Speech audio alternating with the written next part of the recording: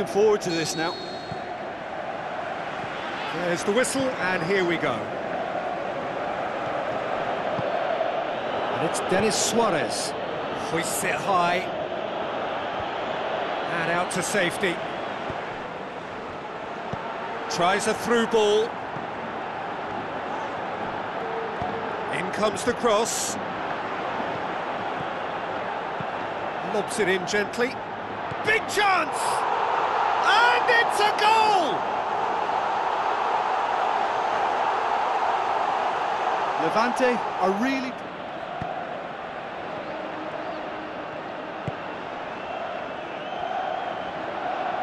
Aimed in towards the centre.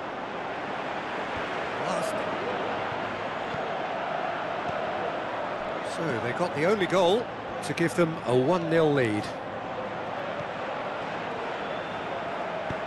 Aimed long and direct. And it's hoisted clear. And the referee brings the first half to a close. So there you have it, a close-fought half of football. Levante go in at half-time with a slender one-goal lead.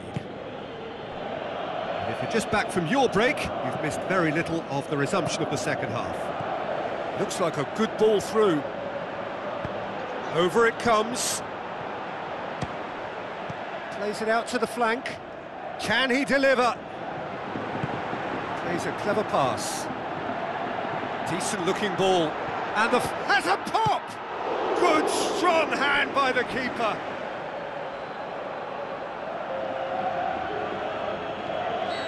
There is some activity down on the touchline. It seems there's going to be a change. And that's left him on the seat of his pants. I think you have to admire his willingness to keep plugging away. Massive leap!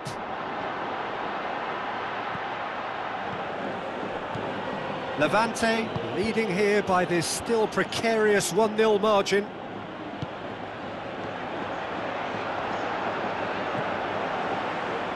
Look, with time running out, they have to get the ball in the penalty box, and if it means a long punt, then so be it. They've got to give themselves a chance.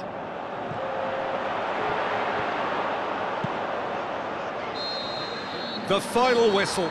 Levante, hold on. It's a narrow squeak, bit of luck, some judgment.